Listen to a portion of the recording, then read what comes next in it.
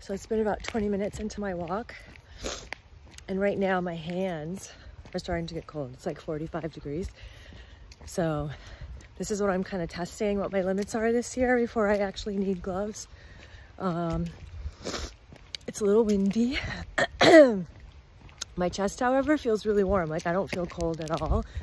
So for me, it's almost like my extremities start deteriorating with time. So once I reach that point where I want to be out longer and I'm getting colder faster, then I'll start carrying a backpack with gloves and maybe a sweatshirt. So that way, if I need to get home and I'm cold, I have something that I can put on. So I try not to walk too far from home. Days like this, it's not too bad at all. So the sun's shining, I feel warm, it's just more about how long can my hands tolerate 45 degrees. So far it's not too bad. They're cold, but they don't hurt and I can still use them. So it's good.